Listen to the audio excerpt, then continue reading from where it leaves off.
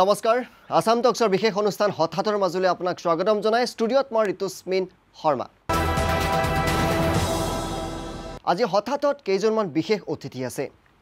আজি আমি বোকাত যিবিলাক পদুম ফুল ফুলে তেনে পদুম ফুল বিচাৰি আমি অভিযান চলাইছিলোঁ আৰু আমাৰ ষ্টুডিঅ'ত আহি উপস্থিত হৈছে এগৰাকী কণমানি ছোৱালী যাক আজি আমি পদুম ফুল আখ্যা দিছোঁ। লখিমপুৰৰ লালুকৰ পৰা সেইগৰাকী কণমানি ছোৱালী আমাৰ মাজলৈ আহিছে। প্ৰথমে সেই কণমানিজনীক আমি চিনাকি কৰি দিব বিচাৰিছোঁ। মোৰ কাষতে আছে সেইজনী কণমানি বয়স মাত্ৰ দহ বছৰ পন্যাসী বৰুৱা। নমস্কাৰ মই আজি প্ৰথমতে মোক মোক সহায় কৰা মোক এই আছাম টক্সৰ কৰ্মকৰ্তা সকলোকে মই মোৰ শুভেচ্ছা জ্ঞাপন কৰিছোঁ আৰু যে মোৰ ইমান গাঁৱৰ মাজৰ পৰা এজনী ভা ভালকৈ যে মোক উলিয়াই আনিছে সেইবাবে মই তেওঁলোকক নথৈ সুখী হৈছোঁ আৰু যে মই আজিলৈকে ডাঙৰ গাড়ী এখনেই দেখি পোৱা নাই গাড়ীতে উঠি পোৱা নাই। তেওঁলোকে যে মোক ইমান ভিতৰুৱা গাঁও এখনৰ পৰা পিছপৰা গাঁও এখনৰ পৰা যে মোক উলিয়াই আনিছে তেওঁলোকক মই বহুত বহুত ধন্যবাদ দিছোঁ। তেওঁ যে মই তেওঁলোকৰ আশীৰ্বাদ যে মোৰ লগত সদায় থাকে। আৰু খুব মৰম লগা কথা বতৰা কি কাৰণে আমি এই অকণমানি ছোৱালীজনীক মাতি আনিছোঁ সেয়া কিছু সময় পিছত আপোনালোকে নিজেই গম পাব। আজি সেই কণমানিত মাত্ৰ দহ বছৰ লালুক উচ্চতৰ মাধ্যমিক বিদ্যালয়ৰ ছাত্ৰী মাত্ৰ দহ বছৰ আৰু তেওঁৰ মাতৃকো আমি আজি মাতি আনিছোঁ। মুন্মি বৰুৱা বাইদেউ আছে আপোনাৰ আমাক স্বাগতম জনাইছোঁ আমাৰ বিশেষ অনুষ্ঠানলৈ। আৰু হাচিনুৰ আলম আমাৰ সংবাদদাতা হাচিনুৰে এইগৰাকীক বিচৰাত যথেষ্ট সহায় কৰিছে হাচিনুৰ আৰু লগতে সেই গাঁৱৰে আছে মনোৰঞ্জন গগৈ তেওঁকো আমি স্বাগতম জনাইছোঁ। এই কণমানিজনীৰ গাত আচলতে ষোল্ল কলা আছে। কি নাজানে? তাইৰ মুখৰ পৰাই শুনিম তুমি কি কি জানা? কোৱাচোন। মই বিয়ানাম বৰগীত বক্তৃতা আৰু দিহানাম লোকসংগীত সংগীত মই চব জানো মই একো নজনা নাই কিন্তু মই একো সুবিধা সুবিধা নোপোৱাৰ কাৰণে মই এতিয়ালৈকে মই একো শিকিব পৰা নাই। চবেই মিউজিক স্কুললৈ যায় কিন্তু মোৰ যাবলৈ মন যায় মই কিন্তু যাব নোৱাৰোঁ। তুমি গান গোৱা? গাওঁ। তোমাৰ আটাইতকৈ ভাল লগা কাক কাক ভাল লাগে তোমাৰ?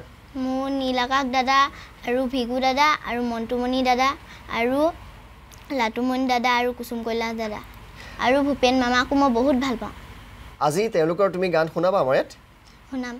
আৰু যদি আমাৰ সম্ভৱ হয় আমাৰ দেৱিকা পেনেল প্ৰডিউচাৰ আছে দেৱিকা যদি সম্ভৱ হয় সেইকেইজন শিল্পীৰ সৈতে আমি ফোন যোগে আজি তোমাক পোনপটীয়া কথা পতোৱাৰ চেষ্টা কৰিম দেই।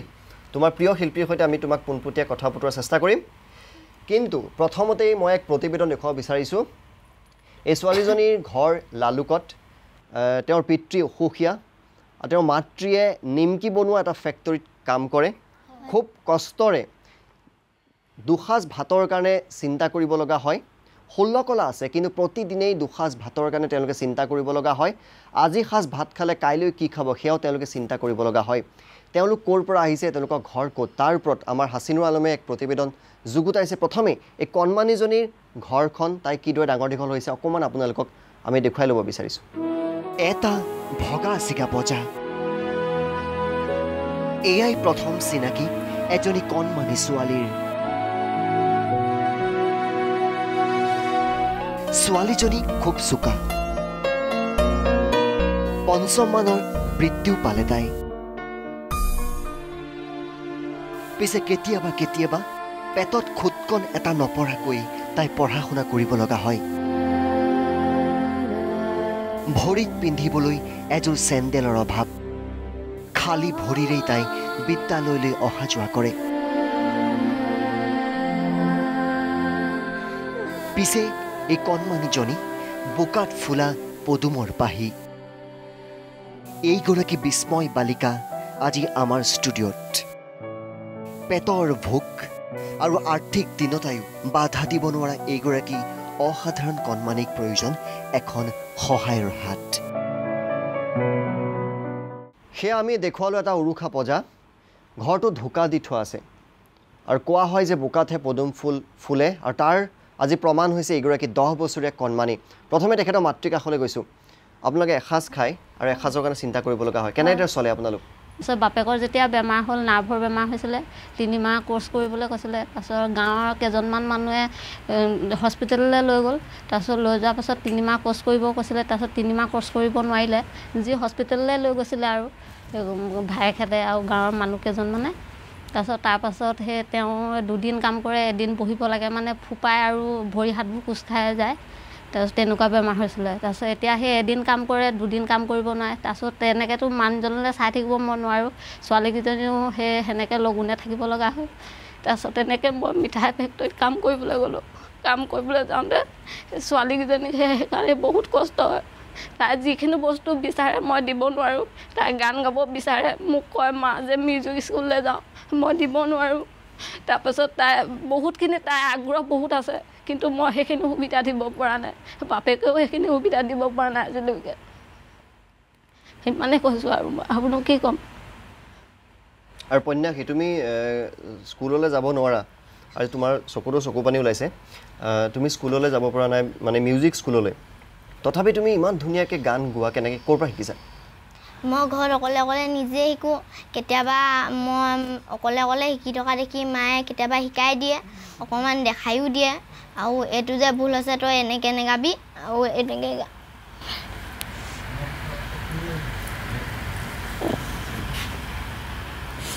তাৰপিছত? কেতিয়াবা ভাত ভাত নোখোৱাকৈ স্কুল যাব লাগে আৰু মায়ে কেতিয়াবা নিমকি ফেক্টৰীলৈ গুচি যায় আৰু মই কেতিয়াবা ভাত নোখোৱাকৈ স্কুল গৈ নেপাওঁগৈ কিমান দৌৰি দৌৰি যাব লগা হয়। আমাৰ স্কুলখন আমাৰ ঘৰৰ পৰা তিনি কিলোমিটাৰ দূৰ আৰু যে মই কেতিয়াবা স্কুল গৈ নাপাওঁগৈ মোৰ তেতিয়া ইমান মনটো দুখ লাগে চবেই কেনেকৈ ইমান ধুনীয়াকৈ পঢ়ে মই যে পঢ়িব নোৱাৰোঁ তেতিয়া মোৰ বহুত দুখ লাগে। আমি এই এইগৰাকী কণমানিক আজি মাতি আনিছোঁ। মই প্ৰথমেই কৈছোঁ যে এইগৰাকী কণমানিৰ গাত ষোল্ল কলা আছে। সুবিধা হয়তো তাই একোৱেই পোৱা নাই তেওঁলোকৰ ঘৰখন আমি দেখুৱালোঁ কিদৰে তেওঁ জীৱন নিৰ্বাহ কৰে কিন্তু তাই নাজানে কি। এই দহ বছৰ বয়সতে ক'তো একো শিকা নাই। তাই কি নাজানে? কিমান ধুনীয়া গান গায় দিহানাম বৰগীত বিয়ানাম সকলো জানে। আৰু তাই খুব ধুনীয়া বক্তৃতাও দিয়ে। তাই খুব ধুনীয়া নাচেও। আজি সকলোৱে আমি এফালৰ পৰা আপোনালোকক দিম। আমি অকণমান তোমালোকৰ দুখ লাগিছে আৰু নিশ্চয় বহুত মানুহ তোমালোক সহায় কৰিবলৈ আগবাঢ়ি আহিব। আমি কিছু সময়ৰ পিছত এওঁলোকৰ যিটো একাউণ্টছ নাম্বাৰ আছে বেংকৰ একাউণ্ট নাম্বাৰটো আমি আপোনালোকৰ তলৰ স্ক্ৰীণত দিম। তেওঁৰ মাতৃ মুন্মী বৰুৱাৰ ফোন নাম্বাৰটো দিম। আপোনালোকে পোনপটীয়াকৈ যোগাযোগ কৰিব পাৰিব। তেওঁলোকক যদি অকণমান আপোনালোকে সহায় কৰিব খোজে সহায় কৰিব পাৰিব। আৰু যিসকলে সহায় কৰিব খোজে তেওঁলোকৰ নাম আমি তলৰ স্ক্ৰীণত অলপ দেৰিৰ পিছত দিম। কিন্তু এইখিনিতে আমাৰ হাতত দুটা খবৰ আহিছে যে দুজন ব্যক্তি আগবাঢ়ি আহিছে। কৃষ্ণ গগৈ তেওঁ ইতিমধ্যে পাঁচ হাজাৰ টকা এই কণমানিজনীক দিম বুলি কৈছে আৰু গুৱাহাটীলৈ অহা লালুকৰলৈ লালুকৰ পৰা গুৱাহাটীলৈ আহিছে। বাছৰ টিকেটটো তেওঁ দিম বুলি কৈছে। লগতে আৰু এগৰাকী প্ৰমীলা গগৈ তেওঁ এহেজাৰ টকা দিছে। দুটা ভাল খবৰ আপোনালোকলৈ আহিছে। কিন্তু অকণমান আমি ফূৰ্তিৰ মাজলৈ আহোঁ। দিয়া তোমাৰ চকু পানীৰখিনি মুচি লোৱা। তুমি এটা ধুনীয়া আমাক গান শুনোৱা। তাৰপিছত তুমি আমি তোমাৰ মুখত গুৰুজনা বক্তৃতা শুনিম দিহানাম শুনিম বিয়ানাম শুনিম নাচ ঢোলৰ চাপৰো তোমাৰ মুখত শুনিম। তুমি কি জানা? আৰু কি কি জানা? মই দিহানাম বৰগীত চবেই জানো কিন্তু মই একো ফালৰ পৰা সুবিধা নাই। আমি অকণমান গান তোমাৰ প্ৰিয় শিল্পী কোন? প্ৰিয় শিল্পী নীলা নীলাকাশ দাদা। আৰু? আৰু মন্টুমণি দাদা। আৰু ভিগু দাদা আৰু লাটুমণি আৰু কুচুম কৈলাশ দাদা। তুমি এতিয়া আমাক কাৰ গান শুনাবা? মই এতিয়া মন্টুমণি দাদাৰ গান। মণ্টুমণি আৰু আমাৰ পেনেল প্ৰডিউচাৰ দেৱিকা আছে যদি সম্ভৱ মণ্টুমণিৰ সৈতে আমি ফোন যুগত ফোন যোগে মণ্টুমণিৰ লগত আমি কথা পাতিব চেষ্টা কৰিম। তোমাৰ গান আজি মণ্টুমণি শুনিব আৰু তুমি মণ্টুমণি দাই তোমাৰ গানটো শুনি থাকিব। তাৰপিছত কেনেকুৱা পালে সেয়া ক'ব হা। টুকুৰা টুকুৰে ভাঙিলা কলিজা নবজিলা মৰম মানে কি? চকু দেহ পোন কিয় সিচিলা সঁচা মৰম নাছিলে যদি সথুনো কাহিয়া মোৰ গছকি ফেনেকি যাবলৈ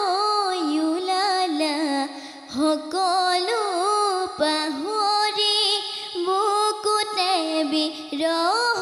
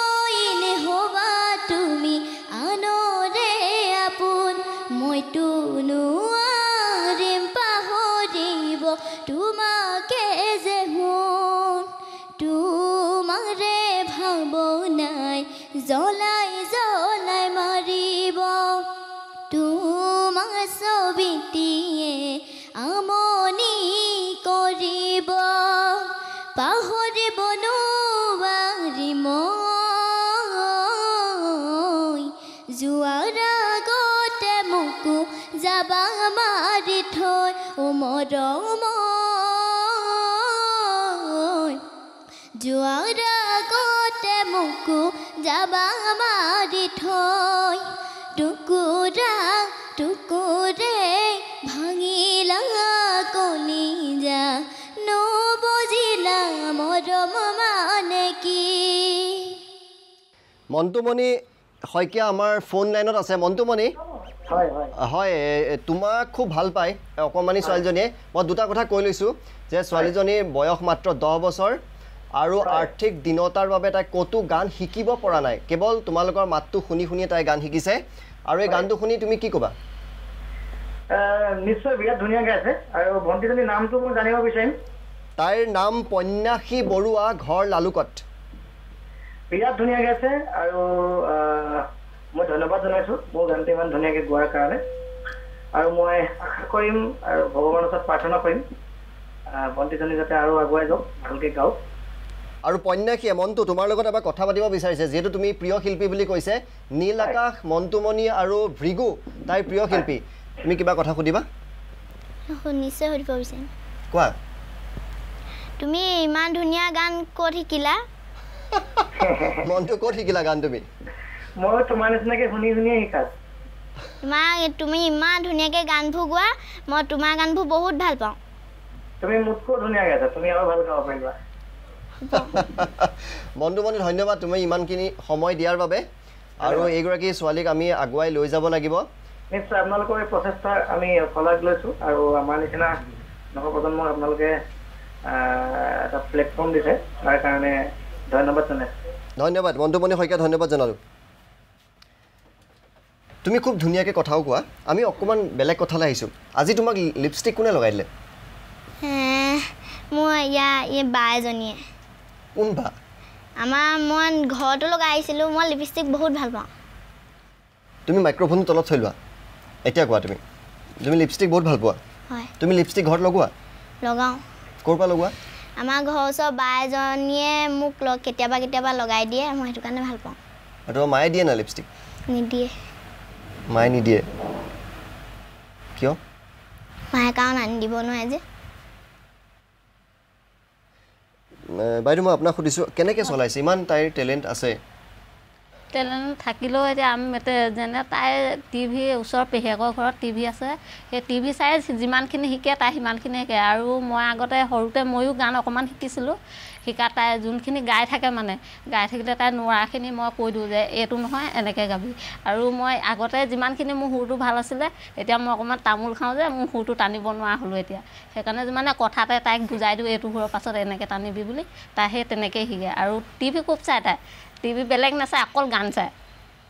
হাচিনুৰ আলম ক'ত এই ছোৱালীজনী তুমি ক'ত বিচাৰি পালা হাচিনুৰ হয় আপুনি এটা কথা কৈছে যে পদুম আচলতে বোকাতে ফুলে।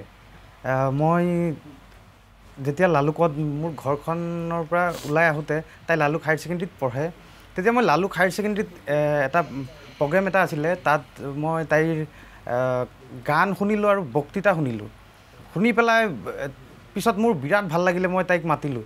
মাতাৰ পিছত তাইক মই সুধিলোঁ একচুৱেলি তোমাৰ ঘৰ ক'ত? তোমাৰ মা দেউতাই কি কৰে? গোটেই কথাখিনি সুধিলোঁ। সোধাৰ পিছত মোৰ এটা ফিল হ'ল। আচলতে এই ছোৱালীজনীক যদি আমি আগবঢ়াই লৈ যাব পাৰোঁ পাৰোঁ তেতিয়া তাই নিশ্চয় বহুত আগবাঢ়ি যাব পাৰিব। কিন্তু তাই হয়তো এটা প্লেটফৰ্ম পোৱা নাই যে এনেকুৱা এটা প্লেটফৰ্ম পোৱা নাই যে আগবাঢ়ি যাবৰ কাৰণে। তেতিয়া মই লগে লগে মনোৰঞ্জন গগৈ আছে তাৰ লগতো কথাখিনি পাতিলোঁ বা আৰু তাৰ মানুহখিনি আছে তেওঁলোকৰ লগতো পাতিলোঁ। পতাৰ পিছত যেতিয়া তাইৰ ঘৰতো মই গ'লোঁ গৈ যোৱাৰ পিছত যি এটা পৰিৱেশ দেখিলোঁ সঁচাকৈ এটা দুখ লগা পৰিৱেশ আমাৰ আছাম টক্সৰ দৰ্শকসকলে নিশ্চয় ঘৰৰ পৰিৱেশটো দেখি অনুমান কৰিব পাৰিছে কেনেকুৱা এটা পৰিৱেশৰ পৰা ছোৱালীজনীক আজি আমি ষ্টুডিঅ'ৰ মজিয়ালৈ লৈ আনিছোঁ। তুমি ক'লা যে খুব ধুনীয়াকৈ বক্তৃতা দিয়ে। আমি এই মুখৰ পৰা অকণমান বক্তৃতা। তুমি গুৰুজনাৰ বক্তৃতা দিয়া। শিশু বক্তা হিচাপে তোমাক বহুত ঠাইত মাতি লৈ যায়। এটা শুনো নেকি তোমাৰ বক্তৃতা তোমাৰ মুখত? নমস্কাৰ। শংকৰ গুৰুজনাৰ জন্ম হৈছিল তেৰশ এসত্তৰ শকৰ কাতি মাহৰ শুক্লা দশমী তিথিত বৰদোৱা নামে ঠাইত নৰৰূপে জন্মগ্ৰহণ কৰে। তেওঁৰ পিতৃৰ নাম আছিল কুসুম্বৰ ভূঞা আৰু মাতৃৰ নাম সত্যৰন্ধা আছিল। সন্তৰাম দৈপক্যই গণি পঢ়ি চাই ক'লে যে এই শিশুটিৰ দ্বাৰা বহু প্ৰাণীয়ে মুক্তি পাব দেৱীৰ উতা উপাসনা লোপ পাব স্মৃতি ভাগৱত পুৰাণ আদি সৰল ভাষাত ৰচিত হ'ব যাৰ দ্বাৰা সমস্ত মানৱ জাতিয়ে সহজে জ্ঞান লাভ কৰিব পাৰিব। শ্ৰী শ্ৰী শংকৰ গুৰুজনা অৱতাৰী পুৰুষ ইয়াৰ বহুতো অলৌকিক কাহিনী আছে। যেনে এদিন কুসুম্বৰৰ ভনীয়েকে শংকৰত কোলা ল'বলৈ বিচাৰোঁতে অখুচি গাৰে কোলা বিমোচিত হৈ ঢলি পৰিছিল। এবাৰ শুৱাই থওঁতে ঘৰ ভাগি পৰিছিল কিন্তু শিশু শংকৰৰ একো নহ'ল। এবাৰ শুৱাই থওঁতে সূৰ্যৰ তাপ পৰাত চকৰি ফেটি সাপে চত্ৰ ধৰি আছিল। সমনীয়াৰ লগত খেল ধেমালি কৰি শংকৰ গুৰুজনাই বৰ ভাল পাইছিল। দিনৰ দিনটো খেলিয়েই কটায় খাবলৈ শুবলৈকো পাহৰি থাকে। বুঢ়ীমাক খেৰখুটিয়ে তেনেতে বাৰ বছৰত ভৰি দিওঁতে শংকৰক মহেন্দ্ৰ কন্দলীৰ টোলত নাম লগাই দিলে আৰু খুব কম দিনৰ ভিতৰতে ক ফলা আৰু অফলা শিকি এটি কবিতা ৰচনা কৰিলে।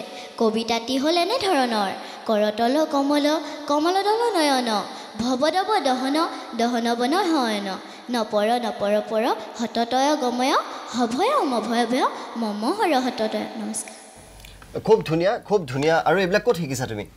মই মই আগতে যেতিয়া দিছিলোঁ এবাৰ মোক মায়ে শিকাই দিছিলে। তাৰপাছতে মই দি দি পুৰস্কাৰ মত আছে কিতাপৰ পৰা মায়ে লিখি দিয়ে। তেনেকৈ মুখস্থ কৰিয়ে দিওঁ মই। আৰু এই অনুষ্ঠানটো চাই থাকোঁতে আমালৈ এটা ভাল খবৰ আহিছে।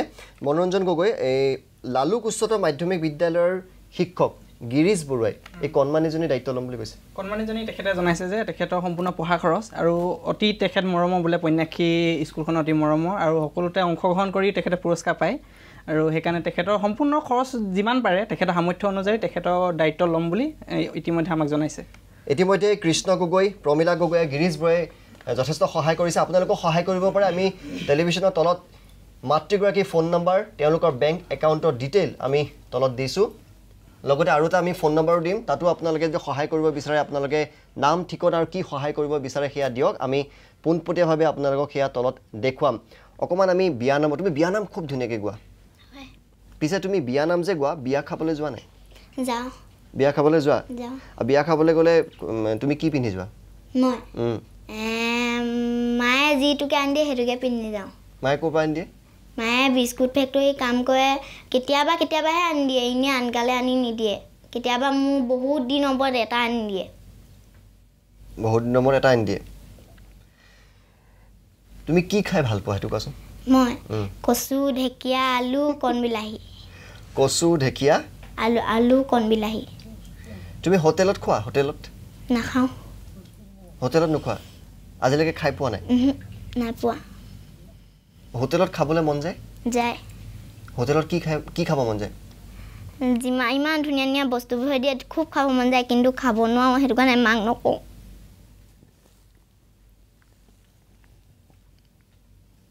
খাবলৈ মন যায় তোমাৰ? তুমি আজি গুৱাহাটীলৈ আহিছা তুমি আজি কোনখন হোটেলত খাবা? আমি খুৱাম তোমাক আজি। মোক যিখন হোটেল দেখুৱাই সেইখনতে খাম। তুমি কি কি খাই ভাল পোৱা? কি আইটেম খাই ভাল পোৱা? সেইটো কোৱাচোন তুমি কি আইটেম খাই ভাল পোৱা? আমি সেইটোৱে খুৱাম তোমাক আজি। মই ৰসগোল্লা খাই ভাল পাওঁ। আৰু মিষ্টি খাই ভাল পাওঁ। ৰসগোল্লা আৰু মিষ্টি। সেইটোতো তোমাক আমি এতিয়াই খুৱাম। আমি অনুষ্ঠানটো শেষ হোৱাৰ পিছতে খুৱাম। আৰু তুমি কি খাবা কোৱা? যিটোকে দিয়ে সেইটোকে খাম। চিকেন টিকেন খাই ভাল পোৱা? ৰোল চিকেন এইবিলাক খাই ভাল পোৱা? মই খাই পোৱা নাই। খাই পোৱা নাই? তুমি ৰোল খাই পোৱাই নাই আজিলৈকে? তুমি এইবিলাক ফ্ৰাইড ৰাইচ ৰোল এইবিলাক তুমি চিনি পোৱা? নাপাওঁ। তুমি সেইবিলাক নোপোৱা? তুমি নাম শুনিছা? নাই শুনা। তুমি খায়ো পোৱা নাই? ঠিক আছে আজি অনুষ্ঠানটো শেষ হোৱাৰ পিছত আমি তোমাক গুৱাহাটীৰ এখন খুব দামী হোটেললৈ লৈ যাম। তাত তোমাক আজি খুৱাম তুমি যি খোৱা? হ'ব। খাবা? খাম। তুমিতো মানে চিনি নাপাবা কোনটো বস্তু কি? হয়। তোমালোকৰ লালুকত দামী হোটেল কি আছে? দামী হোটেল নাই অকল দুখন হোটেল আছে। দুখন হোটেল আছে। তাত তোমালোক তুমি খাব গৈছা? নাই যোৱা। তুমি কেতিয়াবা মাক জোৰ কৰিছা নেকি যে মোৰ লৈ যোৱা মা মোক খাব মন গৈ এনেকৈ কৈছা? মা মাক মায়ে নোৱাৰে যেতিয়া মই নকওঁ সেইটো কাৰণে মায়ে যেতিয়া খুৱাব নোৱাৰে তেতিয়া মায়েও দুখ লাগে মায়ে দুখ কৰে। তো মাৰ ওচৰলৈ আহিছোঁ। আপোনালোকৰ মানে আপোনাৰ ইনকাম কিমান? সুধিব নাপায় যদি সুধিছোঁ। মই মাহটোত দি- কেইটকা আপোনালোকে ঘটে? দিনে এশ টকা দিয়ে মোক কাম কৰোঁতে। দিনে এশ টকা? হয় এশ টকা দিয়ে। আৰু আপুনি তিনিজনী ছোৱালী আপোনাৰ? হয়। এই পঢ়ি আছে লালুকত তাই দহ বছৰ। পিছৰজনী সাত বছৰ তাৰ পিছৰজনী পাঁচ বছৰ। খৰচো আছে? খৰচ যথেষ্ট খৰচ আছে তিনিজনীয়ে স্কুললৈ গৈছে? উম, তিনিজনী নহয় নাই যোৱা সৰুজনী নাই যোৱা দুই নম্বৰজনী এবাৰ দ্বিতীয় শ্ৰেণীত। তাই সেই বহী এখনৰ কাৰণে কলম এখনৰ কাৰণে কান্দে। তেতিয়া সেই দদায়েকে এই ওচৰতে আছে মোৰ দদা দদায়েক বহি আছে। সেইদিনা বহী এখনৰ কাৰণে ইমান কান্দিছে। মই তেতিয়া তাই যিমান বাহিৰত কান্দিছে মই ভিতৰত সিমান কান্দিছোঁ। তাই বহীখনৰ কাৰণে স্কুল যাব পৰা নাই। তাৰপিছত দদায়েকে বেয়া লাগি পেলাই নি তাইক দহ টকা এটা দিছে। যাতৰ বহী কিনি পেলাই নি স্কুললৈ যায়। তাৰপিছত তাই সেই দহ টকাটো পাই পেলাই নি বহী এখন কিনি পেলাই নি তাই স্কুল গৈছে। আৰু এই উপন্যাসীও সেই এখন বহীতে এতিয়া চব লিখে। কিন্তু বহী এখন আনি দিব মোৰ সামৰ্থ্য হোৱা নাই। তিনিজনী চলাব লাগে আৰু ঘৰখনো সেই বাপেক নহ'লে ময়ে চলাব লাগে প্ৰায়। আৰু আমাৰ বন্ধন এটা গোটৰ লোন লোৱা আছিলে সেইটোও চলাব লাগে প্ৰায়। কিহৰ লোন আছে বন্ধন গোটৰ লোন আছিলে। কিহৰ কাৰণে লোন লৈছিলে আপুনি? আমাৰ সেই ঘৰটো পানী পৰা আছিলে মানে তাৰপিছত সেই উপায় নাইকিয়া হ'ল তাৰপৰা বন্ধনৰ পৰা লোন লৈ সেই টিং কিনিছিলোঁ। এতিয়া কিমান টকা মাহে মাৰিব লাগে? মাহে বেছি নালাগে তিনিশমান লাগে। সপ্তাহত তিনিশ। কিন্তু এই ছোৱালীজনী ইমান গুণ আছে তাইকতো আপুনি আগুৱাই নিব লাগিব। আগুৱাই নিব বিচাৰোঁ এতিয়া মোৰ হা তেনেকুৱা হেৰি নাই যে সেইকাৰণে তাইক কওঁ মই তই যিখিনি পাৰ সেইখিনি তই নিজেই গা এদিন ভগৱানে তোক চাব তোক। তাই সেইকাৰণে নিজেই কৰি থাকে যিমানখিনি পাৰে। তাই আজি কৈছে এখন ভাল হোটেলত তাই খাই পোৱা নাই আৰু নাই পোৱা। যিসকলে এই মুহূৰ্তত টেলিভিশ্যনৰ পৰ্দা অন কৰিছে আমি পুনৰ কৈছোঁ যে এইজনীক আমি বুটলি আনিছিলোঁ লালুকৰ পৰা দহ বছৰ বয়স। লালুক উচ্চতৰ মাধ্যমিক বিদ্যালয়ত তাই পঢ়ে তাই কি নাজানে? তাই গান গাব জানে বিয়ানাম জানে দিহানাম জানে তাই বক্তৃতা দিয়ে আকস্মিক বক্তৃতা কবিতা আবৃত্তি খুব ধুনীয়া নাচে ঢোলৰ চেও পৰ্যন্ত সকলো জানে। আজি সকলো আমি তেওঁৰ মুখৰ পৰা শুনিম। অকণমান তুমি বিয়ানামক আমি বিয়া কথা অলপ আগতে পাতিছিলোঁ যে তুমি বিয়া বিয়ালৈ যোৱা। বিয়ানাম এটা শুনো দিয়া তোমাৰ মুখত। মাৰাৰ অলংকাৰ ধোৱা কাটি কৰি ঐ ৰাম দেউতাৰ ৰামচন্দ্ৰই পঠাইছে ভুৱনৰ অলংকাৰ ঐ ৰাম হাতে জোৰে কৰি লোৱাহে মাৰাৰ অলংকাৰ ধোৱা কাটি কৰি ঐ ৰাম দেউতাৰ অলংকাৰ ধোৱাহে তুমি ঢোলৰ চেও জানা হয় নাই আমি তোমাৰ ঢোলৰ ঢোলৰ চেও নিজে তুমি ঢোলৰ চেও মুখেদি উলিয়াবা তাৰপিছত তুমি নাচিবা সেইটো আমি কিছু সময় পিছত দেখুৱাম। কিন্তু ঢোলৰ চেওটা তোমাৰ মুখৰ পৰা শুনো পাৰিবা? দিয়াচোন ঢোলৰ घेनती घेना की घेने टस टस टस टस टकरी घेना की घेने टस टस टस टस घेनती घेना की घेने टस टस टस टस टकरी घेना की घेने टस टस टस टस ढिल पिसटा धूर ढिल पिसटा धूर ढिल पिसटा धूर टस टस टस टस ताऊ धूर धूर धूर ताऊ धूर धूर धूर ताऊ धूर धूर धूर टस टस टस टस घेन घेना खिट्टा की खिटी घेना खिट्टा की खिट्टा की घेन घेन घेन ताऊ ढेया ढे আমি কিছু সময়ৰ পিছত তাইৰ নাচ আমি চাম। আৰু আমি এটা চমু বাণিজ্যিক বিৰতি ল'ম কিন্তু বিৰতিৰ পিছত আমি দেখুৱাম যে তাই আৰু কি কি জানে। আচলতে কি কি জানে সেয়া ক'ব দিগদাৰ। তাই কি কি নাজানে সেয়া ক'বলৈ সহজ হ'ব। এটা চমু বিৰতিৰ পিছত আমি পুনৰ উভতি আহি আছোঁ।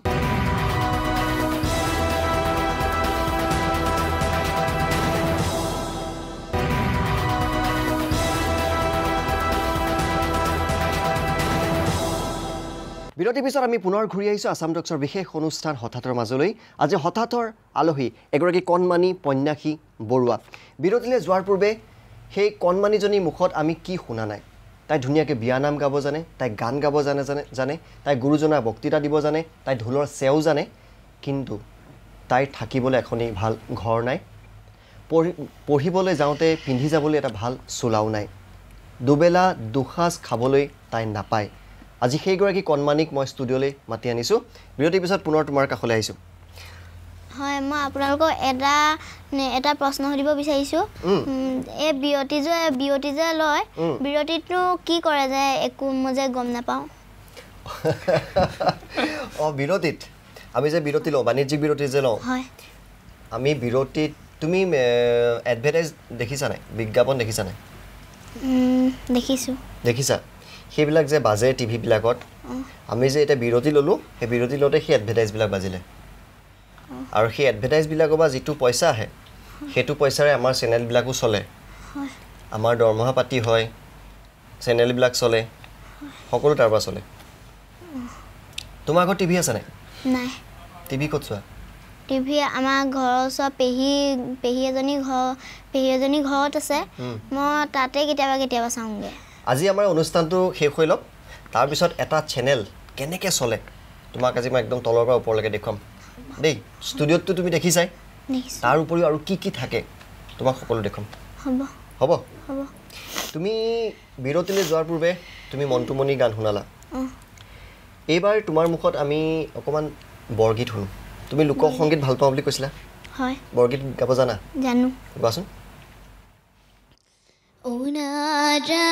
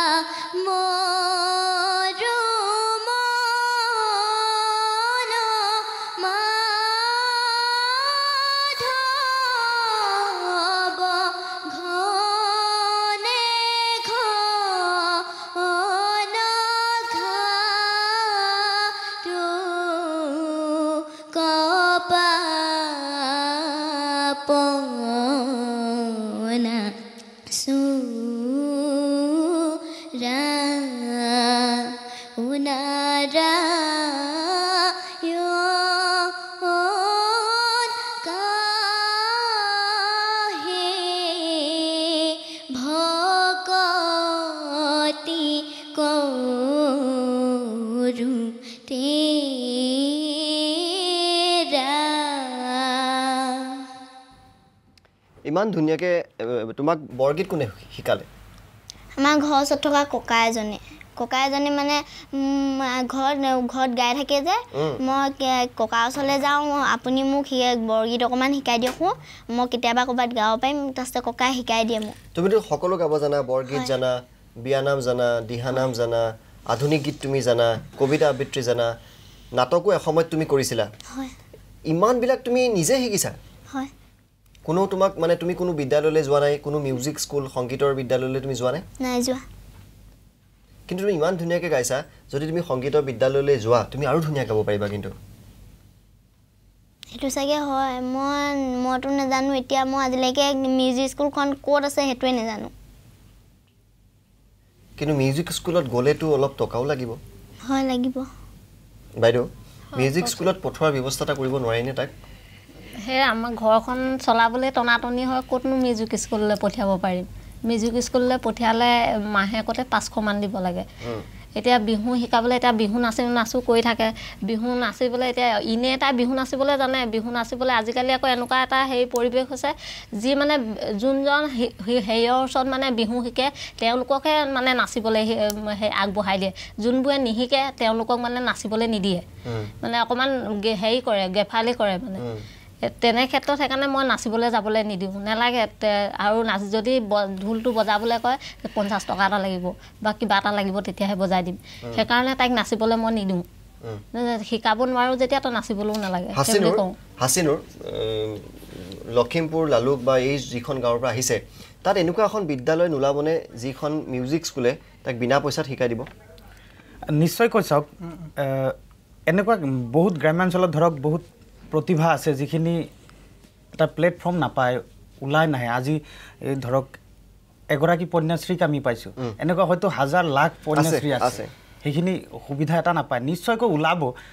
আজি আমাৰ অনুষ্ঠানটোৰ জৰিয়তে যদি আমি তেনেকুৱা এটা কোনোবা এটা হেৰি কৰি ৰিকুৱেষ্ট এটা কৰিব খোজোঁ যে এই এইগৰাকী ছোৱালীক যদি কোনোবা মিউজিক স্কুলে আগবঢ়াই লৈ যাব খোজে নিশ্চয়কৈ পাৰিব। কিন্তু কোনোবা শিল্পীও যদি আছে শিকাব বিচাৰে। নিশ্চয়কৈ। যদি কোনোবা তেনেকুৱা শিল্পী আছে তেওঁলোকে এইগৰাকী কণমানিক তাই কি নাজানে? নিশ্চয়কৈ আমি শুনিলোঁ। আচলতে যিটো বৰগীত গালে সঁচাকৈ মই ব্যক্তিগতভাৱে বৰগীতটোত একদম বিলীন হৈ গৈছোঁ।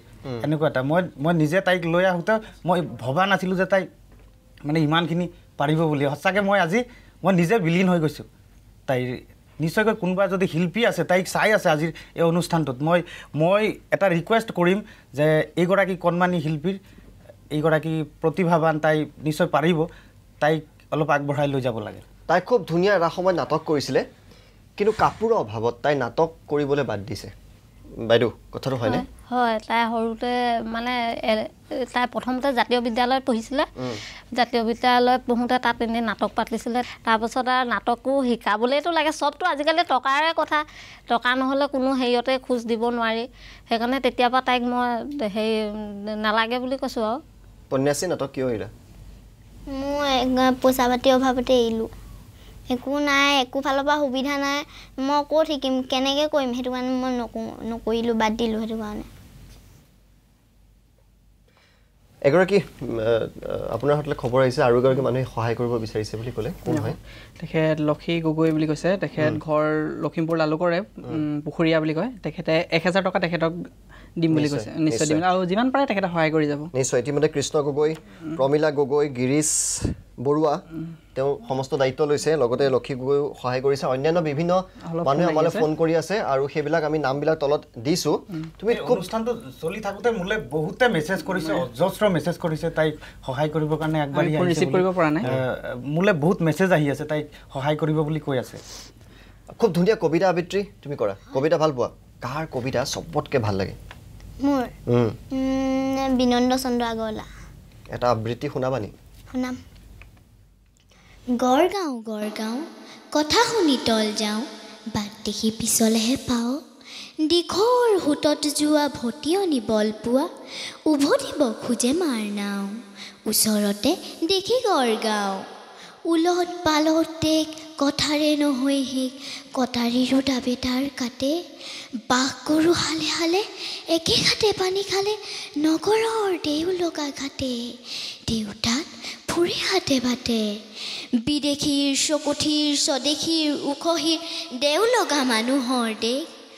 উজুতিত ভাগেদাত কোহালত হৰে মান অহা যোৱা নাই তাত শেষ। জনে জনে ভিন ভিন বেশ। ধন্যবাদ। ইমান ধুনীয়াকৈ আবৃত্তি কৰিছা আৰু আমি আবৃত্তি বহুত দিনৰ পৰা শুনি আহিছোঁ কিন্তু খুব ধুনীয়া আবৃত্তি কৰিছা। তুমি ইমান সৰুতে ইমান ধুনীয়া আবৃত্তি কৰিছা। তোমাৰ ভইচৰ যিটো মডুলেশ্যন যিটো কাজ ইমান ধুনীয়া। সেইবিলাকো তুমি নিজে শিকিছা নিজে আয়ত্ব কৰিছা? তুমি কবিতা আবৃত্তি বেলেগৰ কাৰোবাৰ শুনিছা নে নিজেই শিকিছা বস্তুটো? মোৰ এদিন আমাৰ স্কুলত ছোৱালী এজনীক আছিলে তাৰপাছতে মই এবাৰ শুনিলোঁ ভালকৈ তাৰপিছত তেতিয়াৰ পৰাই মই নিজে নিজে অকণমান শিকোঁ। আমাৰ কিতাপতে আছে সেই কবিতাটো। আৰু এবাৰ শুনিয়ে এই ছোৱালীজনী হাচিনুৰ এবাৰ শুনিয়ে সকলো বস্তু শিকিছে। মই যিমান তাই বৰগীত গালে ক'লে এবাৰ শুনিলোঁ তাই বিয়ানাম গালে ক'লে মই এবাৰ এনেকৈ শুনিছিলোঁ। আৰু এতিয়া কবিতা আবৃত্তি ইমান ধুনীয়াকৈ ক'লে কৈছে এবাৰ মই শুনিছিলোঁ। আৰু গানো তাই এবাৰ শুনি গায়। তাকে মই নিজে আচৰিত যেতিয়া তাইক মই বিচাৰি উলিয়াইছিলোঁ যেতিয়া তাইৰ ঘৰখন মই দেখিছোঁ তেতিয়া মই তাইক বহুত কথাই সুধিছিলোঁ। সোধাৰ পিছত কোনো এটা পৰিৱেশ পোৱা নাই তাইক যে কোনোবাই কথা এটা শিকাই দিব যে আগবঢ়াই লৈ যাব। তেনেকুৱা কোনো এটা পৰিৱেশ পোৱা নাই। মই আচৰিত হ'লোঁ। ঘৰখন আকৌ এবাৰ আমি দেখুৱাইছোঁ। আমি লালুকৰ যিখন ঘৰ তাই যিখন ঘৰৰ পৰা আহিছে সেই ঘৰখন আকৌ এবাৰ আমি আপোনালোকক দেখুৱাইছোঁ। এবাৰ চাওক এইখন ঘৰৰ পৰাই তাই আহিছে। তাই দুবেলা দুমুঠি খাবলৈ চিন্তা কৰে। এসাঁজ খালে এসাঁজ তাই খাবলৈ নেপায়। আৰু সেইদৰেই তাই লালুকৰ পৰা আহি আজি আমাৰ ষ্টুডিঅ'লৈ আহিছে কিন্তু তাই কি নাজানে এইজনী ছোৱালীয়ে। আৰু সেইবাবেই সদায় কয় যে বোকাতহে পদুম ফুল ফুলে। কেৱল অকণমান আপোনাৰ সহায়ৰ প্ৰয়োজন। তাই ধুনীয়াকৈ গান গাব জানে কবিতা আবৃত্তি জানে। তাই গুৰুজনাৰ বক্তৃতা দিব জানে। তাই বিয়ানাম গাব জানে। তাই নাটক কৰিব জানে তাই খুব ধুনীয়া নাচে ঢোলৰ চেও জানে অকণমান আপোনালোকে সহায় কৰক আধুনিক গীতটা শুনো দিয়া তুমি কৈছিলা ভৃগু কাশ্যপ খুব ভাল লাগে ভৃগুটাৰ গান এটা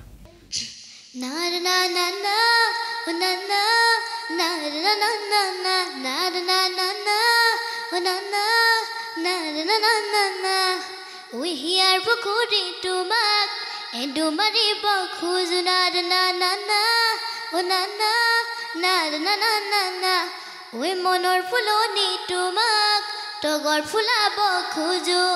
দিবানে নিদিয়া কোৱা সঁহাৰি বিনিময় কি লাগে চোৱা বিচাৰি পিৰিতি পিৰিতি যৌৱনৰ পিৰিতি আহিছো বুকু চাতলৈ ৰমিয় ৰমিয়। তোমাৰে ৰমিয় ৰমিয় হলো মই ৰমিয় হিয়াৰ পুখুৰী তোমাক এডু মাৰিব খোজো। ভিগু দাদাৰ গান। আৰু ভৃগু আমাৰ সৈতে এই মুহূৰ্তত ফোন লাইনৰ সংযোগ স্থাপন হৈছে। ভৃগু তোমাক স্বাগতম জনাইছোঁ। থেংক ইউ ঋতুস্মিন দা আৰু ভৃগু আৰু ভৃগু মই প্ৰথমে দুটা কথা কৈ লওঁ। যে মোৰ লগত এজনী আজি কণমানি দহ বছৰীয়া ছোৱালী আছে। তাই লালুকৰ একদম ভগা চিগা এটা ঘৰত থাকে। তাই পঢ়িবলৈও টকাকেইটা নাই এসাঁজ খাই এসাঁজ এসাঁজ ভাতৰ কাৰণে চিন্তা কৰে। তাই ক'তো গান শিকা নাই কেৱল গান শুনি শুনি তাই গান গাইছে। আৰু আজি মই লৈ আহিছোঁ গানটো শুনি তোমাৰ কেনেকুৱা লাগিলে? তোমাৰ আৰু তোমাক খুব ভাল পাওঁ বুলি কৈছে ভৃগু। প্ৰথম কথা মোৰ তেখেতৰ থাকিল অশেষ শুভকামনা। খুব ধুনীয়া গাইছে গানটো খুব ভাল গাইছে। মই এক কথাত ক'বলৈ গ'লে ক'বলৈ যদি যাওঁ মই ক'ম যে মোতকে চাগে ফাইভ পাৰ্চেণ্ট বেটাৰহে গাইছে বেয়া গোৱা নাই। গতিকে ছেকেণ্ডলি কথাটো হ'ল অহা ঊনৈছ তাৰিখে মোৰ লালুকত অনুষ্ঠান আছে লালুকৰ কাষত কোনোবা এখন এক নিয়াৰেষ্ট একদম লালুক। হয়। ত' মই তেখেতক আজি আছাম টক্সৰ জৰিয়তে পাব্লিকেলি কৈছো তেখেতক মোৰ লগত অনুষ্ঠান কৰিবলৈ সুযোগ সুবিধা দিম। আৰু মোৰ ফালৰ পৰা তেখেতলৈ এটা মাননী হিচাপে তেখেতলৈ আগবঢ়াম। নিশ্চয় ভৃগু কাশ্যপে খুব ধুনীয়া কথা এটা ক'লে যে লালুকত ঊনৈছ তাৰিখে প্ৰগ্ৰেম আছে বিহু ফাংচন ভৃগুৰ। আৰু সেইখন অনুষ্ঠানত ভৃগুৱে তোমাক লৈ যাব একেলগে গীত গাব দিব। তুমি ভৃগুদাক কিবা ক'বা? ক'ম। কোৱা। ভিগু দাদা ইমান ধুনীয়া গান গায় ইমান ধুনীয়া সুৰতে মই বহুত ভাল পাওঁ ভিগু দাদাৰ গান। হ'ব। আমি লগ পাম ঊনৈছ তাৰিখে একেলগে গান গাম। হয় ধন্যবাদ ভৃগু জনাইছোঁ আৰু ভৃগুৱে কৈছে যে তোমাক সামান্য সহায়ো কৰিব ভৃগু ভৃগু ধন্যবাদ জনাইছোঁ। থেংক ইউ থেংক ইউ গতিকে ঊনৈছ তাৰিখে লালুকত তুমি অনুষ্ঠান কৰিব পাৰিবা ভৃগু কাশ্যপৰ সৈতে। তোমাৰ মনটো ভাল লাগিছেনে? তুমি ভাল পোৱা এজন শিল্পীয়ে। তোমাক একেলগে ষ্টেজত লাগিছে। আমাৰ হাচিনুৰে সহায় কৰিব এইটো মনত ৰাখিব লাগিব। ভৃগুৰ লগত হাচিনুৰে কণ্টেক্টত থাকিবা তুমি? মই মই যিমান যিমান দূৰ পাৰোঁ মই সহ- সহায় কৰিম আৰু ঊনৈছ তাৰিখে যাতে লালুকৰ সেইখন অনুষ্ঠানত নিশ্চয় নিশ্চয় নিশ্চয়কৈ আৰু যিসকল দৰ্শকে আছাম টক চাই আছে বা লখিমপুৰ হওক বা ইয়াৰ নিয়াৰেষ্ট ঠাইৰ যিমান আছে সকলোকে উক্ত অনুষ্ঠানলৈ স্পেচিয়েলি মই লালুকৰ ল'ৰা হিচাপে তাত ইনভাইট কৰিছোঁ মই। আহক অনুষ্ঠান চাওক বিশেষকৈ পন্যাশ্ৰীৰ গান শুনক। আৰু পন্যাসীক যদি সহায় কৰিব বিচাৰে আপোনালোকে লালুকত সেইখন অনুষ্ঠানলৈ আহক ভৃগু কাশ্যপ থাকিব আপোনালোকে সহায় কৰিব পাৰে। হয়নে? হয়। তুমি গাবা এতিয়া? তুমি প্ৰেক্টিচ কৰিব লাগিব ন? ভৃগুদাৰ লগত গান গাবলৈ? মই ঘৰতে প্ৰেক্টিচ কৰিম। ঘৰতে কৰিবা? তুমি দিহানাম জানা? জানো। দিহানামো জানা? জানো। কি নাজানা তুমি কোৱাচোন? উম, জনাটো চবেই জানো কিন্তু একো ফালৰ পৰা সুবিধা নাই সেইটো কাৰণে মই নেগাওঁ। তোমাৰ সুবিধা নিশ্চয় আমিও সহায় কৰিম। আৰু ৰাইজেও তোমাক ইমান অসমৰ মানুহ ইমান কাঠচিতীয়া নহয় যে তোমাক সহায় নকৰাকৈ নাথাকিব। নিশ্চয় তোমাক আগুৱাই লৈ যাব। আজি ভৃগুদাই তোমাক ক'লেই যে একেখন মঞ্চত গোৱাব। গতিকে তুমিও নিজৰ চেষ্টা অব্যাহত ৰাখিবা। দিহানাম এটা শুনোৱা। খুব ডাঙৰ ডাঙৰ মানুহ দিহানাম গাব নাজানে। তুমি কিমান ধুনীয়া দিহানাম গাওঁ। গোৱা আমি শুনো আহা। শংকৰদেৱে বোৱাই দিলে নামৰে নুৰি। ৰাম ৰাম মাধৱদেৱে বোৱাই দিলে ধর্মরে সুতি আমি হবে নাম কৃষ্ণ হৰি হৰি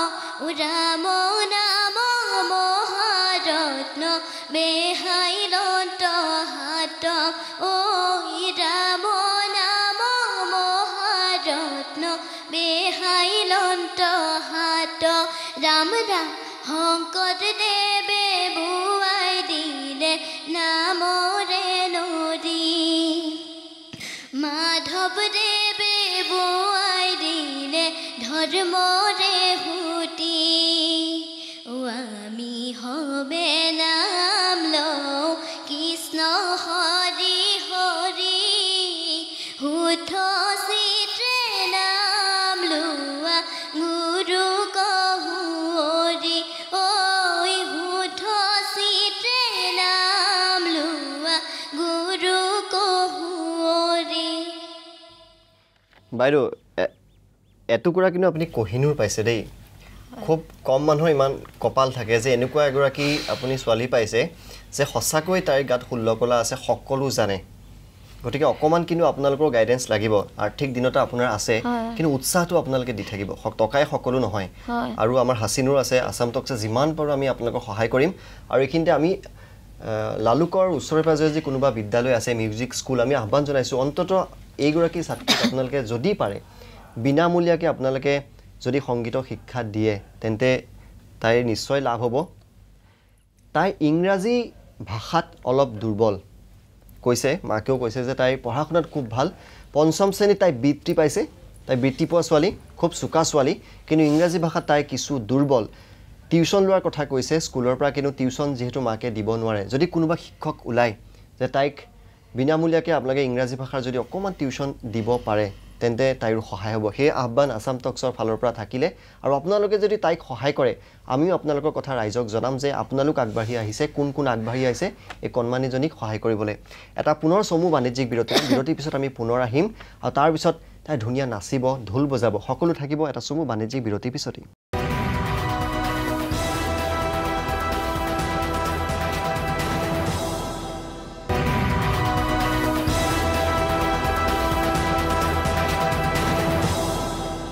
আমি বিৰতিৰ পিছত পুনৰ ঘূৰি আহিছোঁ আছাম টক্সৰ বিশেষ অনুষ্ঠান হঠাৎৰ মাজলৈ। আৰু মোৰ সৈতে আজি এগৰাকী কণমানি আছে পন্যাসী বৰুৱা দহ বছৰীয়া বিস্ময় বালিকা বুলি মই তেওঁক কৈছোঁ লগতে তেওঁৰ মাতৃ হাচিনুৰ আৰু মনোৰঞ্জনো আমাৰ সৈতে আছে। বিৰতিলৈ যোৱাৰ পূৰ্বে তুমিতো আমাক সকলোৱে শুনালা। তুমি দিহানাম গালা বৰগীত গালা বিয়ানাম গালা আধুনিক গীত গালা কবিতা আবৃত্তি কৰি শুনালা। মই আৰু কেইটামান তোমাৰ প্ৰশ্ন সুধিছোঁ। তুমি মিমিক্ৰি কৰিব জানা নেকি? কাৰোবাৰ ডাইলগ মাৰিব জানা নেকি? জানো। সেয়াও জানা? কাৰ জানা? শ্ৰীযুত তৰুণ গগৈ। তৰুণ গগৈ ডাইলগ জানা তুমি? আমাক শুনোৱা। ই বাদ দিয়াহে হা। হা হা হা হা আমাৰ অনুৰোধ তৰুণ গগৈ তোমাৰ ডাইলগটো আকৌ এবাৰ কোৱাচোন। মা তুমি মাইকত কোৱা এবাৰ। ধুনীয়াকৈ কোৱা তৰুণ গগৈয়ে কেনেকৈ কথা বাদ হা হা।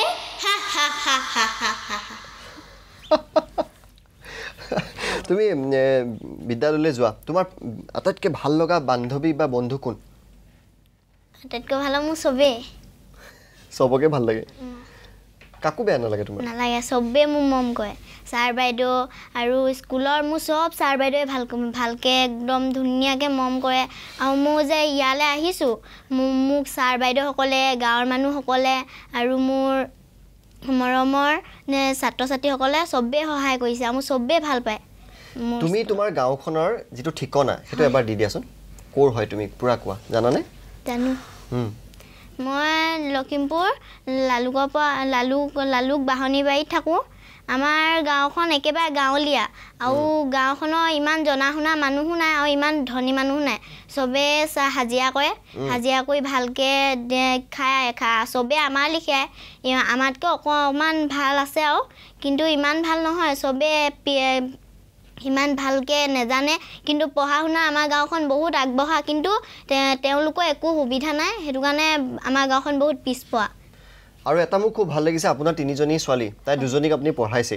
তিনি নম্বৰজনীও আপুনি পঢ়াব এইটো খুব ভাল লাগিছে। যে আপুনি তিনিজনী ছোৱালীকে পঢ়াবলৈ আগবাঢ়ি আহিছে আৰু তাইক পঢ়াইছে আৰু তাই বিটিও পাইছে চোকা। কেৱল ইংৰাজীত তাই অলপ বেয়া বুলি কৈছে আপুনি? অঁ তেওঁ তাই সেয়া সুবিধা নোপোৱাৰ কাৰণে টিউশ্যন দিব নোৱাৰাৰ কাৰণে তাই আৰু ঘৰত তেনেকুৱা মই অকণমান পাৰিলেও তাই মোৰ সময় নহয়গৈ ৰাতিপুৱাই কামলৈ ওলাই গুচি যাব লাগে। তাৰপাছত আহিতো ভাগৰ যুগৰ লাগে আৰু ভাত বনাব লাগে ইটো কৰিব লাগে সিটো কৰিব লাগে তিনিজনী ছোৱালী জেমেলা মৰা ঘৰৰ কিমানখিনি কাম? সেইখিনি কাম কৰাৰ পাছত তাইক আৰু চাবলৈ মোৰ মনেই নাযায়। বহুত দুখে হয়। দুৰ্বল মানে অৰ্থবোৰ ইমান এটা পঢ়িব নাজানে। অজুবোৰ পাৰে টান শব্দবোৰ পঢ়িব নাজানে তাই। তাৰপিছত ইটো ওচৰলৈ দৌৰ মাৰে সিটো ওচৰলৈ দৌৰ মাৰে। চবেই দিয়কচোন বাৰু এ- তেনেকেই কিন্তু তাই বৃত্তিও পাইছে চোকা কিন্তু ছোৱালীজনী হয়। আৰু মই এটা কথা আপোনাক সুধিছোঁ যে সুধিছোঁ আৰু কথাটো যে তাই বিদ্যালয়লৈ আপুনি পঠিয়ায়। লগৰবোৰেও আহে। আমুকে আমুক পিন্ধি আহিছে। তমুকে তমুক পিন্ধি আহিছে। এই ধৰণৰ তাই এটা দাবী ঘৰত নিদিয়েনে কৰে। কৰে তাই এবাৰ বিহুত ছোৱালী ছোৱালী দুজনী বাপেকে পইচা আনিব নোৱাৰিলে বাপেকে তাত সেই মই কৈছিলোঁ নহয় বেমাৰ হৈ আছিলে বুলি। তাত কাম অৰুণাচলত কাম কৰিবলৈ গৈছিলে কাম কৰিবলৈ যাওঁতে সেই কপনি বেমাৰ উঠে বুলি কৈছিলোঁ যে। তাৰপিছত তাত দেউতাকৰ, দেউতাকৰ। সেই সেই ওপৰলৈ উঠি গৈছিলে উঠি পেলাই নি সেই তেতিয়াই চাগে বেমাৰটো ধৰিলে নেকি ধৰাৰ লগে লগে সৰি পৰিলে সৰি পৰিলে। সৰি পৰি ভৰিটো ভাগিলে ভৰিটো ইমান দুখ পোৱা নাই আৰু তথাপিতো এতিয়া বিষটো শুকাই থাকে তাৰপিছত তাৰপৰা সেই কাম কৰিব নোৱাৰিলে বিহুটো পালেহিয়ে। বিহুত টকা পোন্ধৰশনে কিমান পাইছিলে? তাৰপিছত পোৱাৰ পাছত আহিলে ঘৰলৈ এতিয়া দুজনী ছোৱালীক মই কাপোৰ আনি দিব পাৰিলোঁ। তাই মই বোলো তইতো ডাঙৰ তইতো বুজি পাৱ সেইকাৰণে তোক আনি নিদিওঁ। সৰু দুজনীয়েতো বুজি নাপায় সেইকাৰণে সিহঁতৰ দুজনীকে আনি নিদিওঁ। তাই আৰু মনে মনে কান্দিছে। এতিয়াকে মই তাইক বুজাই ৰাখি দিছোঁ মানে। কৈছোঁ তইতো বুজি পাৱ সেই ভনীহঁতেতো বুজি নাপায় সিহঁতি বেলেগক লোৱা দেখিলেতো সিহঁতি কান্দিবই। আৰু সঁচাকৈ সিহঁতি মই বিহু দিনাখনলৈকে ঘৰত বজাৰো কৰা নাই আৰু চোলা কাপোৰ কানিও আনি দিয়া নাই। সিহঁতি ধুমা ধুম কান্দিছে মা মোক এই হেৰি মানে ওচৰৰ ল'ৰা ছোৱালীবোৰৰ কথা কৈছে আমুকে কাপোৰ পিন্ধিছে মোকো আনি দিয়া। মা তামুকে কাপোৰ পিন্ধিছে মোকো আনি দিয়া। তাই তাই কান্দিছে আৰু মোক একো এটা আনি দিব নোৱাৰিলে। তাৰপিছত তাইক মই তাকে বুজাইছোঁ। চা তই পাপাই তোক একো আনি দিব নোৱাৰিলে তইতো বুজি পা তই ডাঙৰ ছোৱালী সিহঁতে বুজি নাপায় সিহঁতকে আনি দিম দেচোন তোক পইচা পালে মই পাছত আনি দিম। তাই সেই পুৰণা চোলাটোকে পিন্ধি এয়া এতিয়া গুৱাহাটীলৈ সেইটোকে পিন্ধি আহিছে। তাইক এতিয়াও গুৱাহাটীলৈ আহোঁতেও বাপেকে কৈছিলে মই যে পইচা পালে তোক মই গুৱাহাটীলৈ গ'লে এটা আনি দিম কিন্তু বাপেকে এতিয়াও আনি দিব নোৱাৰিলে। এতিয়াও তাই আহোঁতে কৈছে মোক যে মা মই সেই পুৰণা চোলাটো পিন্ধি নাযাওঁ তাৰপিছত মই কৈছোঁ যে একো নহয় তোক মোৰ তাত চোলাটো নাচায় নহয় তাৰপিছত তাই এতিয়া আহোঁতেও থোনটো নাই আহি আছে। যে মা মোক পুৰণা চোলাটো পিন্ধি মোৰ বেয়া পাইছোঁ মই যাবলৈ। তাৰপিছত সেয়াকে আৰুনো মোক কি ক'মনো? সেইবোৰ কাৰণে তাইক মই হেৰি দিব নোৱাৰোঁ। সেইটো কাৰণে মোৰ বহুত দুখ লাগে আৰু। কিন্তু চোলাটো পুৰণা হ'লেও তোমাক বৰ ধুনীয়া লাগিছে। কন্যাশ্ৰী ইমান ধুনীয়া চোলা এটা পিন্ধি আহিছা তুমি আকৌ কিয় এইটো চোলালৈ দুখ কৰিছিলা তুমি?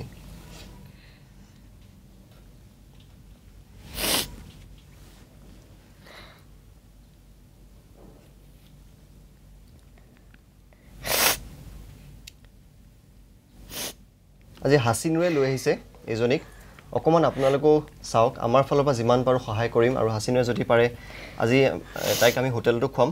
তাই হোটেলত খাই পোৱা নাই। তাই চোলা এটাও দিম আমি। আৰু তাই ৰসগোল্লা খাই ভাল পায় বুলি কৈছে আমি ৰসগোল্লাও খুৱাম। তাইক আজি। নিশ্চয় খুৱাম। অকণমান হাঁহি দিয়াচোন তোমাৰ হাঁহিটো ইমান ধুনীয়া কিয় কান্দি আছা তুমি? খুব ধুনীয়া হাঁহে কিন্তু। হাঁহি দিয়াচোন তুমি। তৰুণ গগৈ হাঁহিটো দিয়া। অঁ তুমি হাঁহি থাকিবা কান্দিছা কিয় মানুহৰ জীৱনত দুখ থাকেই বুজিছানে? তুমি ডাঙৰ হৈ কি হোৱা সেইটোৱে ডাঙৰ কথা। হয়। হয়নে? হয়। তুমি ডাঙৰ হৈ তুমি মা দেউতাক তুমি সুখ দিব পৰা নাই সেইটোৱে ডাঙৰ কথা। হয়নে? তুমি ডাঙৰ হৈ কি হ'ম বুলি ভাবিছা? মই ডাঙৰ হৈ গায়ক হ'ম আৰু যে কলেজলৈ যায় যে। ছাৰ বাইদেউহঁতৰ লিখীয়া হ'ম বুলি ভাবিছোঁ পঢ়ি শুনি। তুমি মানে কলেজ টিচাৰ শিক্ষক হ'বা কলেজৰ শিক্ষক হ'বা। তাৰ কাৰণে তুমি ভালকৈ পঢ়া শুনা কৰিব লাগিব। যিমানখিনি পাওঁ কোঁৱে কিন্তু যে একো হেৰি নাপাওঁ সেইটো কাৰণে নকওঁ তুমি এইটো জানানে যে বহুত আই এছ অফিচাৰ বহুত এছ এছ অফিচাৰে ৰাস্তাত থাকি পঢ়া শুনা কৰে ষ্ট্ৰীট লাইটৰ তলত পঢ়া শুনা কৰি ইমান ডাঙৰ ডাঙৰ মানুহ হৈছে তুমি এইবিলাক কথা শুনিছা? শুনিছোঁ। তুমিও পাৰিবা। সকলোৰেতো ইমান নাই ন? আজি চাহ বিক্ৰী কৰা মানুহ এজন যদি দেশৰ প্ৰধানমন্ত্ৰী হ'ব পাৰে তেন্তে তুমি কিয় দুখ কৰিছা? মই ইমান দূৰ ইমান দূৰ অহা যোৱা তিনি আমাৰ ঘৰৰ পৰা তিনি কিলোমিটাৰ স্কুলখন দূৰত মই খোজকাঢ়ি আহোঁ। কেতিয়াবা মই স্কুল নাপাওঁহি মা কামলৈ গুচি যায় কেতিয়াবা মই ভণ্টিহঁতক খুৱাবলৈ ভাত বনাবলগীয়া হয়। ভাত ভাত আকৌ মই বনাই কেতিয়াবা দৌৰি দৌৰি স্কুল নাপাওঁগৈ কিন্তু ছাৰ বাইদেউহঁতে মোক ভাল পায় কাৰণে মাতি মাতি নিয়ে ছাৰ বাইদেউহঁতে। তুমি যে আজি ইমান দুখ কৰিছা অলপ দেৰি আগতে তুমি ক'লা নাই যে মোৰ বিদ্যালয়খনত চবেই ভাল পায় বুলি কৈছিলা নাই? কৈছিলোঁ। তেনেকৈ চবেই ভাল পোৱা মানুহ কিমান আছে? খুব কম। আমাকতো চবেই ভাল নাপায়। আমাক বহুতে বেয়া পায়। হাচিনকতো বহুতে বেয়াই পায়। হয় নাই? হাচিনক কিমান মানুহে বেয়া পায়? তোমাকতো চবেই ভাল পায়। গতিকে তুমি ফূৰ্তিতে থাকিব লাগে ইমান মানুহে তোমাক ভাল পায়। আৰু আজি কিমান মানুহে তোমাক সহায় কৰিছে হয়নে? সহায় কৰিবলৈ আগুৱাই আহিছে। গতিকে তুমি সপোন আছিলে ভৃগু কাশ্যপ উম। মন্টুমণি। সকলোৱে তাইৰ লগত নিজে কথা পাতিছে। সুখী আৰু জিকু কাশ্যপে তোমাক একেলগে অনুষ্ঠান কৰিম বুলি কৈছে তোমাৰ লগত লালুকত। ঊনৈছ তাৰিখে তুমিতো ষ্টাৰ হৈ যাবা লালুকত। এই তোমাৰ লগত ইমান গহীন কথা নাপাতো। তুমি এটা আৰু এটা গান শুনোৱা মোক। ইমান ধুনীয়া ধুনীয়া তুমি গান কি কৈছে বাইদেউ? এটা ধুনীয়া গান শুনোৱা না। কান্দি কান্দি তুমি গান গাব জানা নাই? নাজানো। তুমি গান এটা গাই দিয়া। চকু পানী শুকাই দিয়া। নীলাকাশৰ গান। উম, নীল আকাশৰ গান এটা গোৱা। আমি নীল আকাশৰ লগত এতিয়া ফোন যোগে সংযোগ কৰিব নোৱাৰিলোঁ মোবাইল ছুইচ অফ আছে। মই তোমাক কেতিয়াবা নীল আকাশৰ কাষলৈ লৈ যাম। ও ও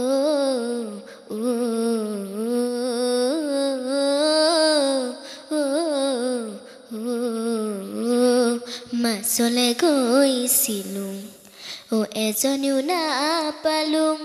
ঘৰলৈ আহি মই ও নিমখ ভাত খাই দিলোঁ। ও এজনী ছোৱালী ঐ বহুত ভাল পাইছিলোঁ। ও এটালৈ পলাই গ'ল ও এচুমা নাপালোঁ ও হেনো দিনে ধৰি ও মদ খাব শিকিলোঁ। ও ভাং খাব শিকিলোঁ। ও আনতে চকুতে বেয়া লৰা হ'লোঁ লৰা হ'লোঁ মই। ও বৰকটা বিলতে মাছ ধৰি হিচাবি মাছ ধৰি পাবি পাক। ও গাঁৱলীয়া ছোৱালী ভালে পাইছা বিয়া পাতি নাপাবি দু। বৰকটা বিলতে মাছ ধৰি চাবি মাছ ধৰি পাবি পাক। ও গাঁৱলীয়া ছোৱালী ভালে পাইছা বিয়া পাতি নাপাবি দু। ও কলেজলৈ গৈছিলোঁ ও ডাঙৰ মানুহ নহ'লোঁ ও ঘৰলৈ আহি মই ও খেতিতে ধৰিলোঁ আকৌ এজনী ছোৱালী।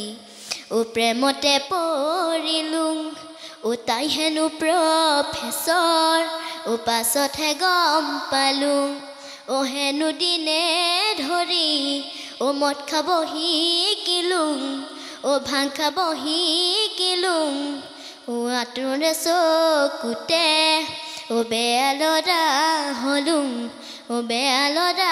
হ'লোঁ মই ইমান ধুনীয়াকৈ গাইছা কিন্তু অলপ কানি কানি গালা নেকি বাৰু?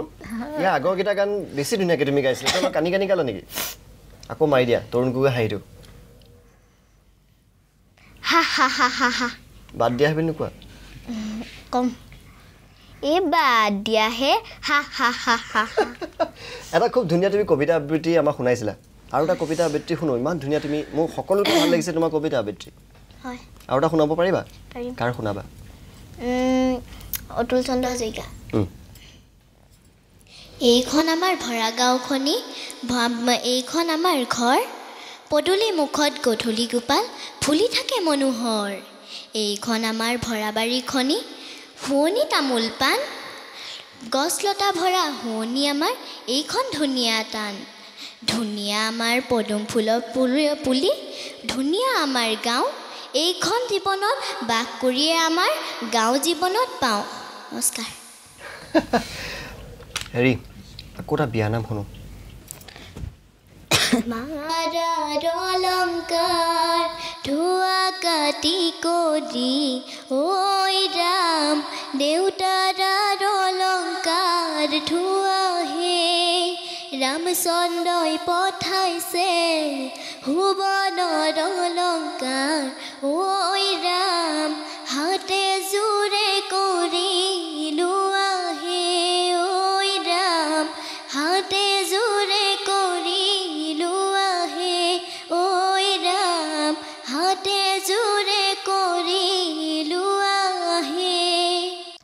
নাটকো কৰিছিলা এতিয়া বাৰু তুমি নকৰা হ'লা নাটক বুলি কৈছা। কাৰোবাৰ তোমাৰ সংলাপ মনত আছে ডাইলগ? এনেই মই দেউতাৰ বিষয়ে এটা কৈ দিছোঁ। কোৱাচোন। অ' দেউতা দেউতা অ' দেউতা তুমি কি কৰিছা অ' দেউতা দাদাও তই মাক উঠাই দেগে যাচোন। মা ক'ৰবালৈ গ'ল হ'বলা তই চাগে যাচোন। অ' দেউতা দেউতা তুমি নুঠা কেলেনো উঠা আকৌ। অ' দেউতা দেউতা তুমি নুঠা কেলেনো ইমান দেৰি মানুহে শুই থাকে জানো? অ' দেউতা উঠা আকৌ। অ' দেউতা দেউতাও অ' তোমাৰ কি হ'ল বাৰু দেউতা? অ' দেউতা তোমাৰ কি হ'ল দেউতা? তুমি নুঠা কেলে? অ' দেউতা তুমি নুঠা কেলে? অ' দেউতা দেউতাও তুমি নুঠা কেলে? অ' দেউতা দেউতাও তুমি নুঠা কেলে? উঠা না দেউতা। অ' দাদা দাদাও চাহি না। আমাৰ দেউতা কি হ'ল চাহি না? অ' দেউতা দেউতাও উঠা না। অ' দেউতা দেউতা উঠা না। অ' দেউতা দেউতাও উঠা না। এইটো ক'ৰ ডাইলগ এইটো ক'ৰ ডাইলগ মই নিজে বনাইছিলোঁ। কি কাৰণে কি ভাবি বনাইছিলা? এদিন ডিম্পী বায়ে যে কৈছিলে। ডিম্পী মা মাক লৈ কৈছিলে মই দেউতাক লৈ কৈ বনাইছিলোঁ এদিন দেউতাক লৈ বনাইছিলা? তুমি একো ভাবি বনোৱা নাই? তুমি তেতিয়াহ'লে কিয় চকু পানী আহিছে কওঁতে কথাখিনি? দেউতাৰ কথা মনত পৰিছিলে যে। তুমি নাচিব জানো বুলি কৈছিলা না মোক? জানো? তুমি মুখেৰে নিজৰ ঢোলৰ চেও দিয়া তাৰপিছত নাচিবও জানা। হয়। তুমি আমাক এতিয়া নাচি দেখুৱাব পাৰিবানে? আমি অনুষ্ঠান সামৰিব সময় হৈছে সকলোকে ধন্যবাদ জনাইছোঁ। আমি এই ধুনীয়া নাচ এটা চাম আৰু কি ধৰণে ঢোলৰ চেও মুখত দিয়ে সেয়াও শুনিম। আমি অনুৰোধ থাকিল যে যদিও আপোনালোকে অকণমান পাৰে এই কণমানিজনীক সহায় কৰক অসমৰ বিভিন্ন প্ৰান্তত হাজাৰ হাজাৰ এনেকুৱা কণমানি ওলাব। আমি তেওঁলোকক যিমান পাৰোঁ সহায় কৰিব চেষ্টা কৰোঁ। কোনোবা হয়তো টেলিভিশ্যনৰ সন্মুখলৈ আহে কোনোবা হয়তো টেলিভিশ্যনৰ সন্মুখলৈ আহিবলৈ সুবিধা নাপায়। আপোনালোকে যদি তেনেকুৱা কোনোবা ক'ৰবাত এই ধৰণৰ পদুম ফুল বিচাৰি পায় আমাক খবৰ দিয়ক বা যিকোনো সংবাদ মাধ্যমক আপোনালোকে খবৰ দিয়ক। প্ৰতিটো সংবাদ মাধ্যমে নিশ্চয় এনেকুৱা সহায় কৰিব। আৰু লগতে অহা ঊনৈছ তাৰিখে ঊনৈছ মে' তাৰিখে ভৃগু কাশ্যপে কৈছে লালুকত যিখন অনুষ্ঠান আছে ভৃগু কাশ্যপৰ বিহুৰ তাত এই অকণমানিজনীক লৈ যাব পন্যাসিক বৰুৱাক একেলগে গান গাব। আপোনালোকো তালৈ আহক। আমাৰ হাচিনুৰ আলামো আমাৰ সাংবাদিক তাত থাকিব আৰু তাত আপোনালোকে নিজ হাতেৰে এই অকণমানিজনীক সহায়ো কৰিব পাৰিব। লগতে আছাম টক্সৰ ফালৰ পৰা এটা বিশেষ অনুৰোধ থাকিলে যদি কোনোবা লালুকৰ কোনোবা শিল্পীয়ে অকণমান যদি মিউজিকৰ জ্ঞান দিব খোজে বিনামূলীয়াকৈ সেয়া আমি খুব আনন্দিত হ'ম। লগতে ইংৰাজী ভাষাত কিছু তাই দুৰ্বল বুলি কৈছে। কোনোবা ইংৰাজী যদি শিকায় সেয়া অসুবিধা হ'ব। আমি অনুষ্ঠানৰ পৰা বিদায় ল'ম। কিন্তু তাৰ পূৰ্বে আমি এই অকণমানিজনীৰ ধুনীয়া নাচ চাইহে যাম। Ohio, oi nam dang hilo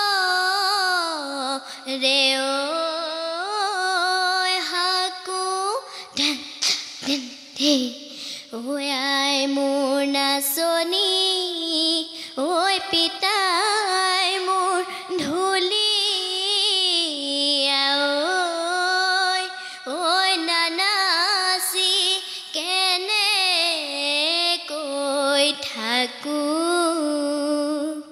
Tas tasi, tas tasi, tas tasi, tas tasi Takri ghen, ghen, ten down, min down Dhil pisa min down Takri ghen ki ghen then down min down thil pisa min down takri ghena ki ghen then down takri ghena ki ghen then down ti ghen ti ghen down ti ghen ti ghen down ti ghen ti ghen down ti ghen ti ghen down ti ghen down ti ghen down dhur tak tak tak dhur dhur dhur tak tak dhur dhur dhur tak tak tak dhur dhur dhur tak tak tak dhur dhur ghen ghena khitta ki khit ghena khitta ki khitta ki ghen ghen ghen ta ki khit ghen ghen ta khit khit ghen